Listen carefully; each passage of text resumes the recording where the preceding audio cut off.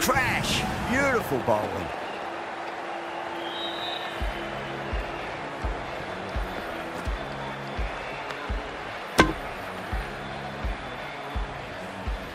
They're on fire out there at the moment. A key batter gone for a duck, completely